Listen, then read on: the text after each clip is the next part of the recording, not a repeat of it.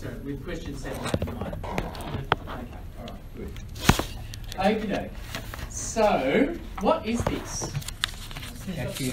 It's a structural equation model. Very good. So you can t- the first thing you can do is tell me that this is a, is a structural equation model. That's exactly right. Good.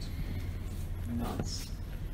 Now, what are the things in ovals? Um, that is, um, if you've got a circle, normally we draw them as, a, as an oval uh, or an ellipse, but um, what are they?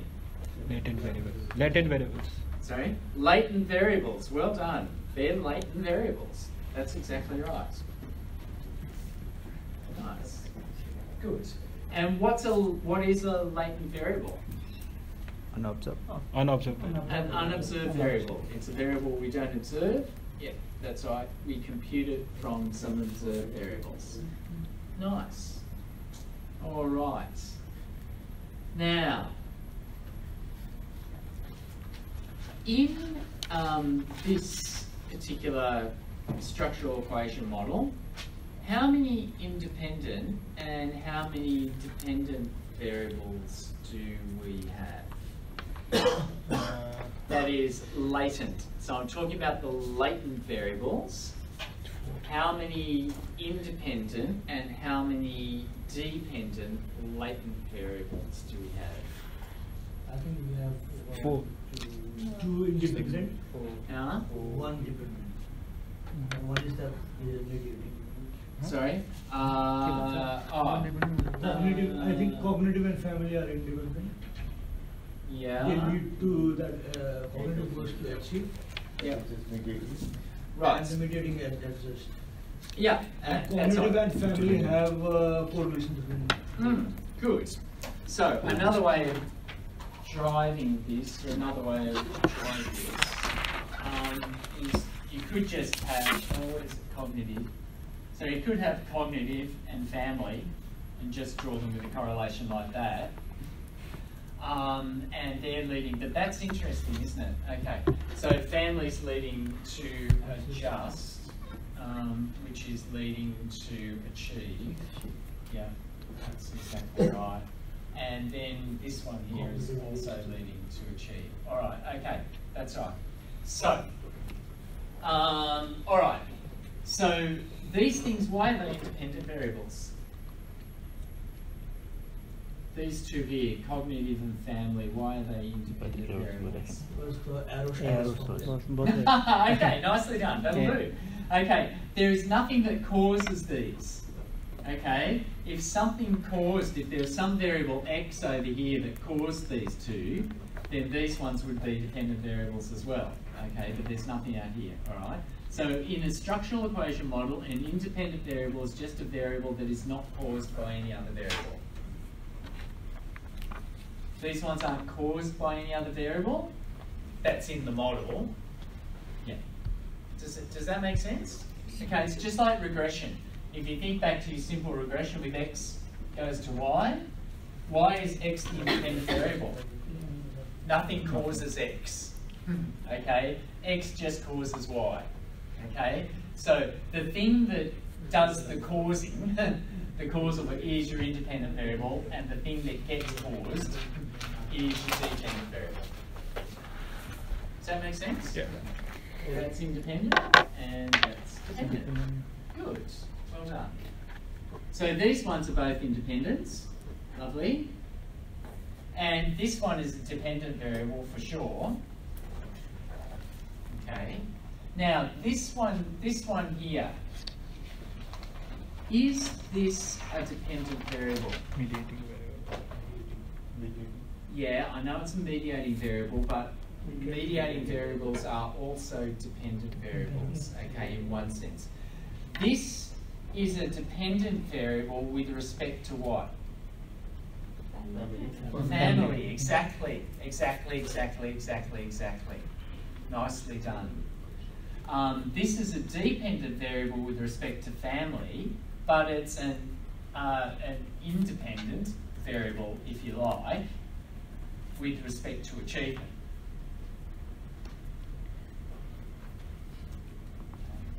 Now, when something takes on the role of being an independent, you know, uh, a dependent variable with respect to some variable and an independent variable with respect to some other variable, then we call it a mediating variable. So a mediating variable is just any variable that gets in the middle. Um, mediating just means in the middle. What is the difference with the moderating? Yeah, good.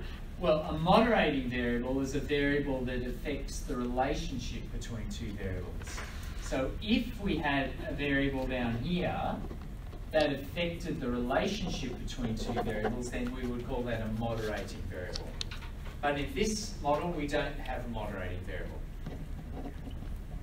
All we've got in this, in this is a mediating variable. Good. There is a line between C and F, that line C and F. What's the meaning of that? Ah, well done, Akash. Nice question.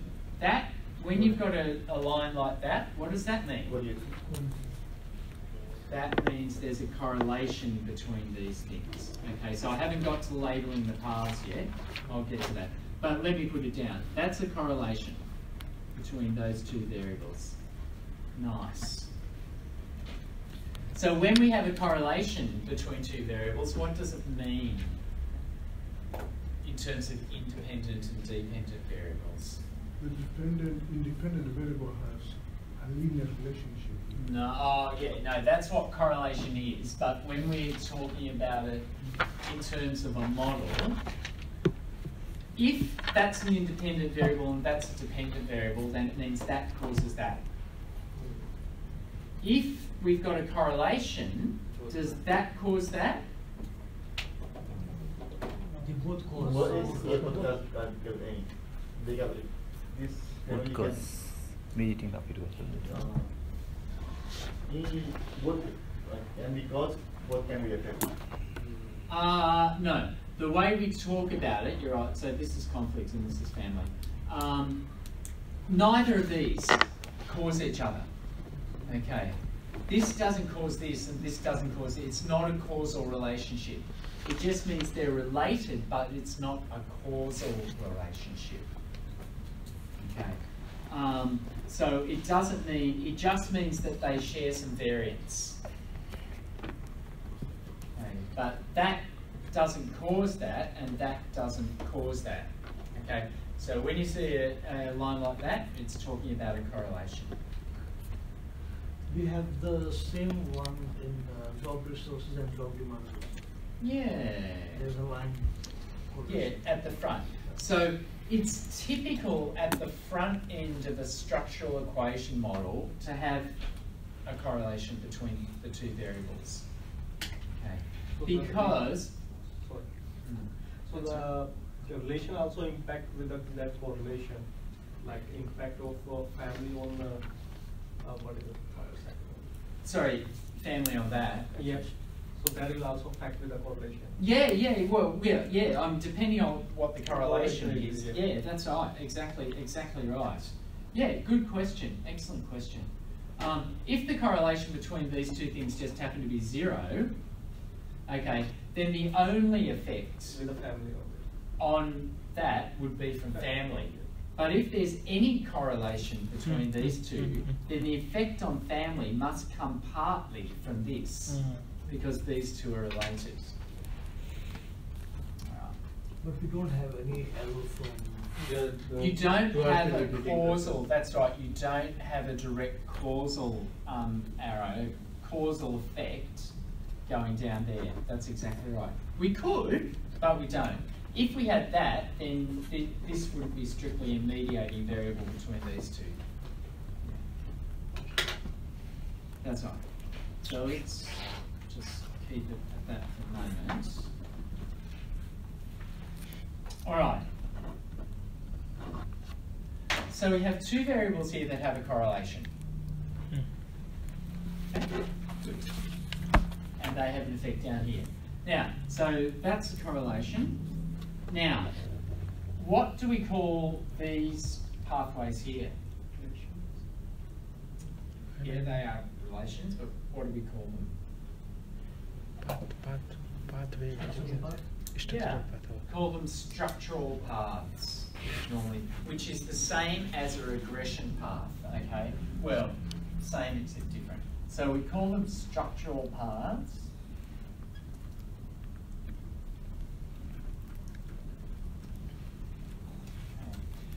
And they're different from regression. How, how are these structural paths, how are they different from regression?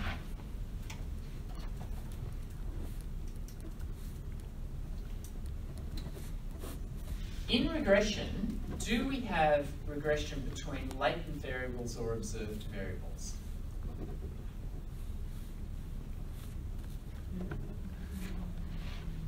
In regression, do we have a relationship between observed or unobserved variables?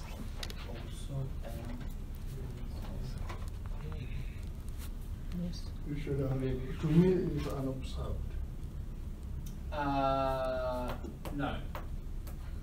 That, good try. In regression, ordinary regression, what we really have is the relationship between two observed variables. And the reason that they're observed variables is because we have data on those. We actually have yeah, data on variable x and variable y. If this is height, you know, if this is weight, we actually have data on those, height and weight.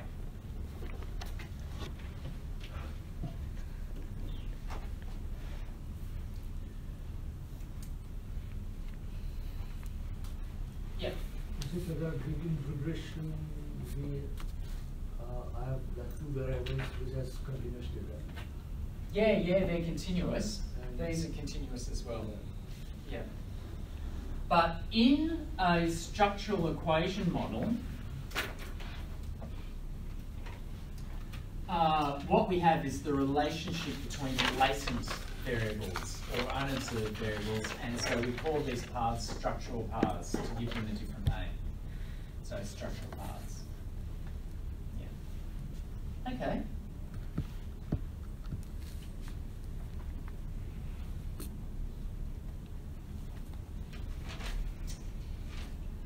Yeah. Okay. All right. Now, what are the structural paths?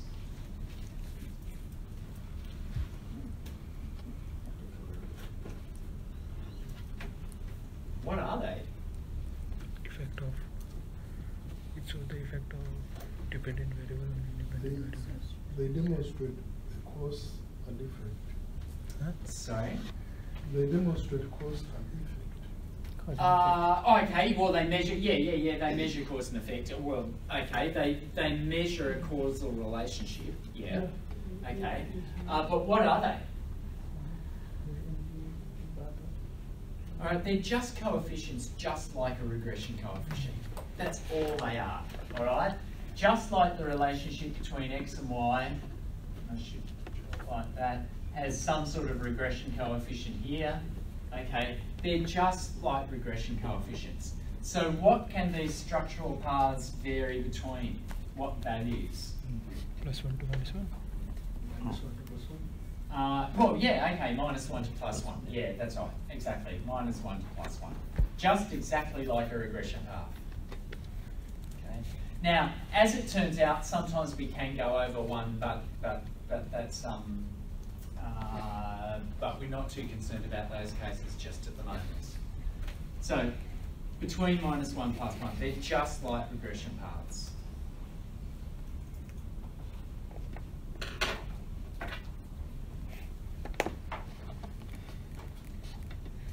Yeah. And so what do the what does the weight um, and so we would call these um, we would call these the, the number that goes here 0.85 what do we call that? If it's a structural path what would we call that? Coefficient? Coefficient. yeah. It's a structural coefficient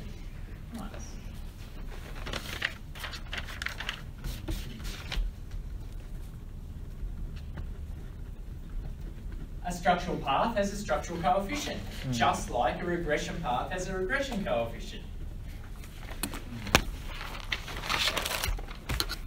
Good. And what does the structural coefficient tell you?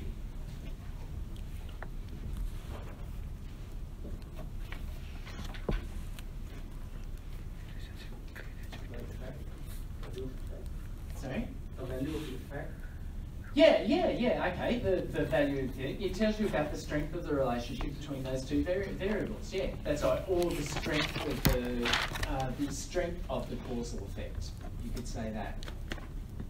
Wouldn't say the value, yeah, you could say the strength of the causal effect. Yeah, that's good.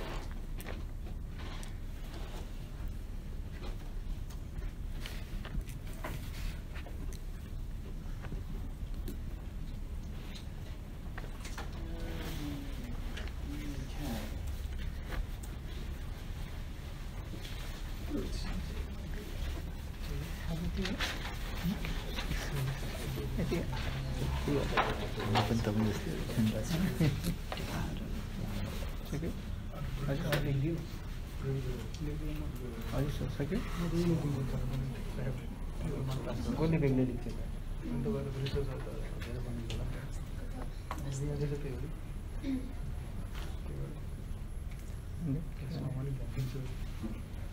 All right.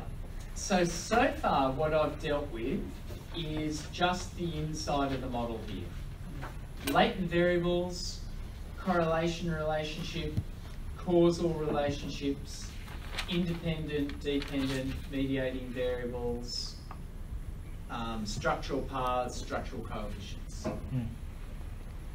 I'm just naming some things at the moment.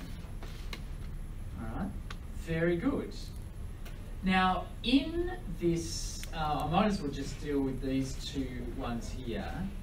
Uh, you don't have to know a lot about that at this stage, but these are the error terms associated with the mediating, uh, associated with the dependent variables. Um, I know that's a mediating variable, but it's also a dependent variable. Okay, so associated with the mediating and dependent variable, that would be probably that would be a good way to put it. They're the error terms.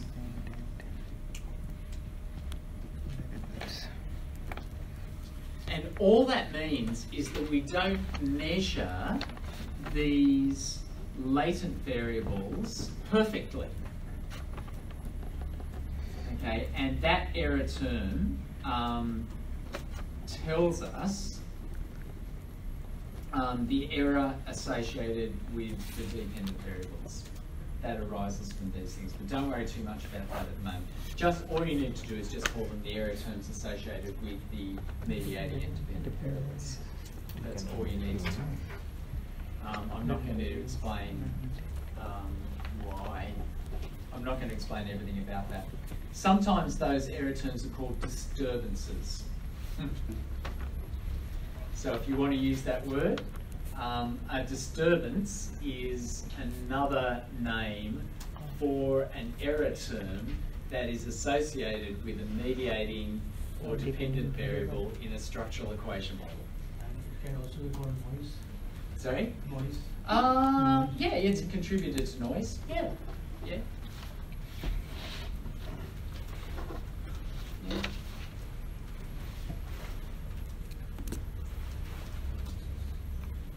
All right.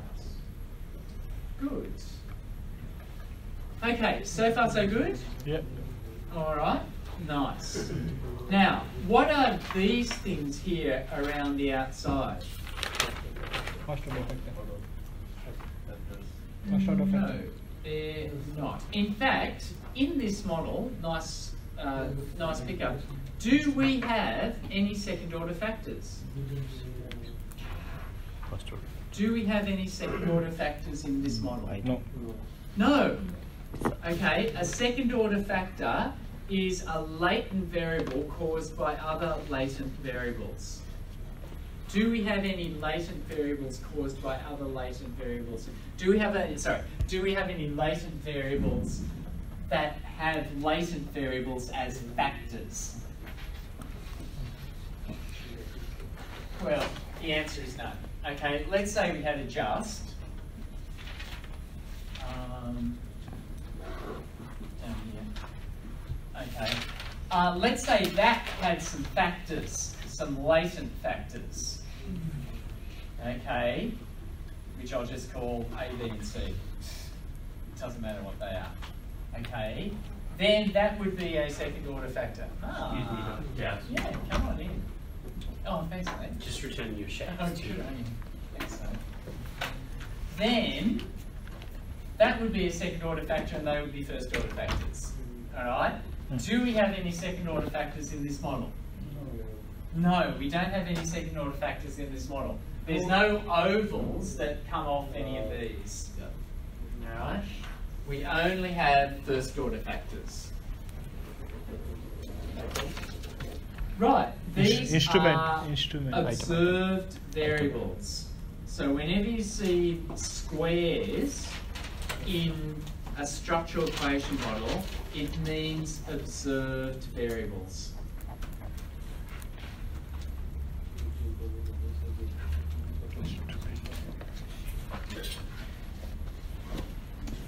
Yep. Good. Okie dokie. Alright, observed variables, very good. Now, what could the observed variables be? Instrument. Questions, exactly right. Yeah, questions from a survey. They could be. That's exactly right. Uh, typically, they are. They are questions from a survey, um, and questions from the survey are often called items. Yeah. Yeah. So you can say questions from the survey or items. Yeah. Um, all they are is they are your observed variables, and in this case, the observed variables happen to be questions or items. Mm. Fine. Good. Now, what are these lines down here? Sorry, uh, going okay so far? Yeah. Okay, all right. What are those lines down there? So let's say, let's say we've got um, a just down here, and that's measured by. Oh, how many observed variables do I have in the model, by the way? One, two, four, three, seven, ten, twelve.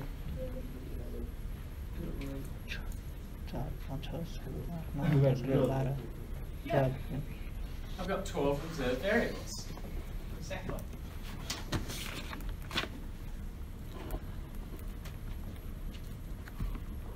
Now, what are these lines down here called? Well, let's just start with that. What are these lines down here called?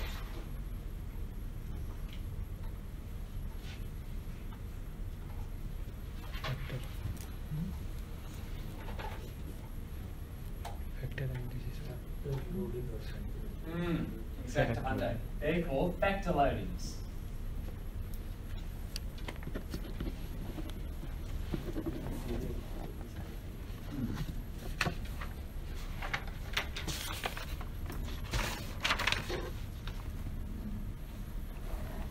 And why does the arrow, why does the arrow come this way? When we're dealing with a regression path, or a, a structural path, um, then the arrow goes that way. Why are the arrows coming this way?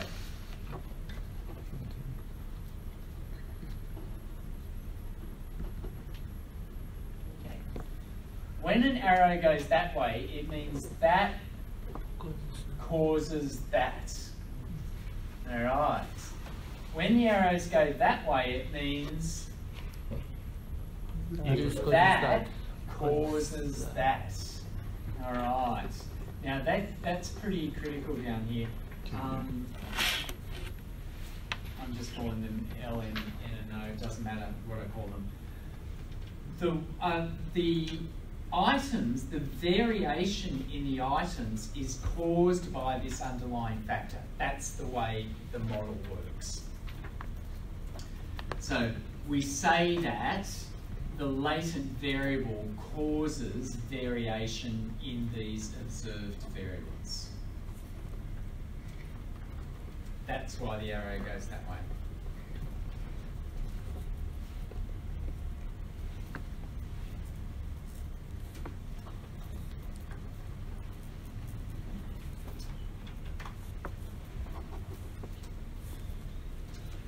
Okie doke. Now, when we have a structural path, it means the relationship between these two variables. Okay, so if I just have 0.9 there, it doesn't really matter. Um, what are the factor loadings? Zero one. Yeah, yeah, yeah, I know they can go from 0 to 1. Um, okay, what are, what are the factor loadings? The relationship between the latent variable. and Item the- and Observed variable. Exactly. Yeah. Okay. A structural path is just the relationship between two latent variables. A factor loading is the relationship between a latent variable and the observed variables that are meant to measure that latent variable.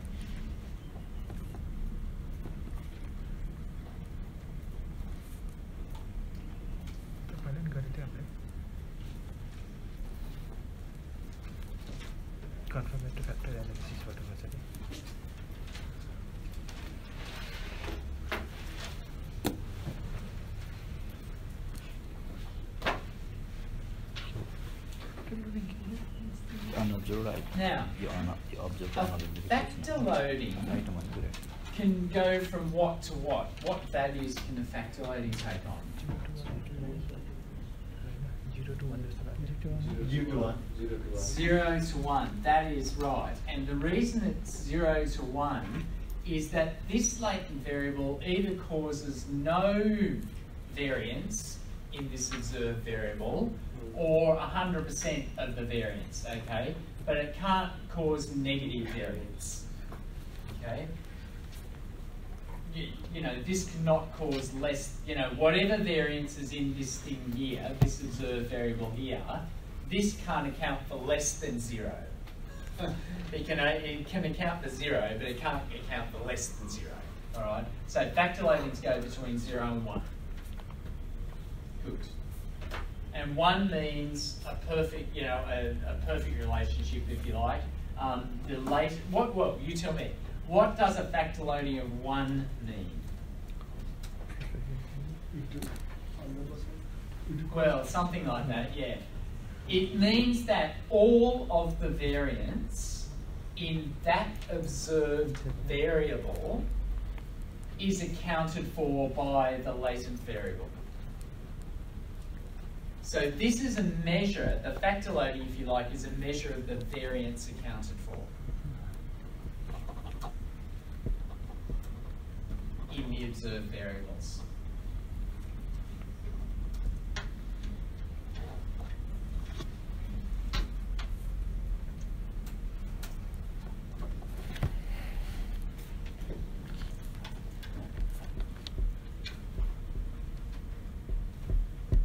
So what does a factor loading zero mean? No variable. Nothing. No Nothing. variance. It means that the latent variable explains no, variance in the observed variable. Latent variable explains, you know, which is very unusual. Okay, you, you you're never going to get a factor loading of zero unless you've got a real problem somewhere in your model. Um, okay, all right. Most of the time, of course, a factor loading is somewhere in the middle. It explains a certain amount of variance in, um, in the in the observed variable.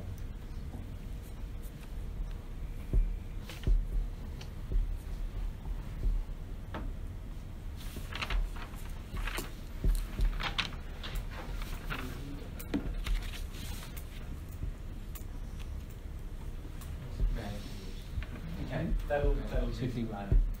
All right, so the most important thing is that these are called factor loadings and that they measure the relationship between the latent variable and the observed variable. Hmm. All right.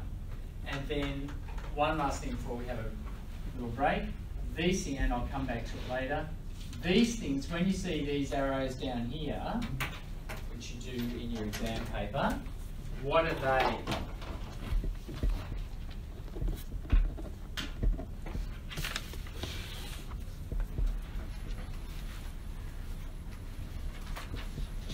What are they? See these little arrows down here? What are they? Okay. They are the error term associated with the observed variable.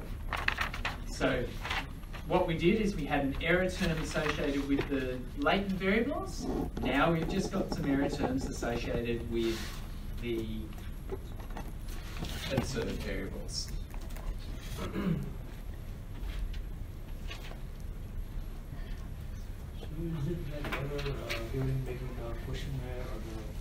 No, it's measurement error in the model itself. It's not, got nothing to do with the questionnaire. Observers, bias, these things are not.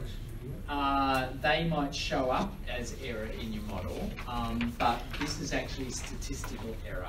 Just like your regression line has got an error term, Yeah. okay, these have error terms. If Okay, have a it's- factor loading of uh, one, is there a error? The error will be zero. Zero. That's exactly right. Ah. Well done. Uh, yeah, factor loading of one, error term zero, of course. No error.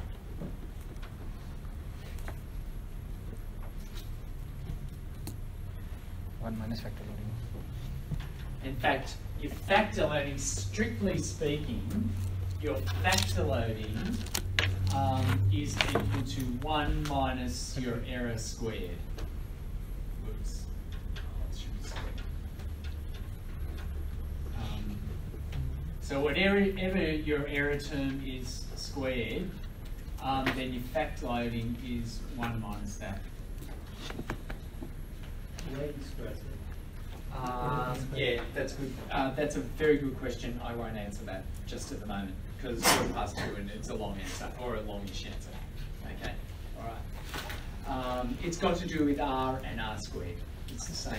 It's the same pattern. Same pattern. All right. Let's take a break. Uh, come back at two.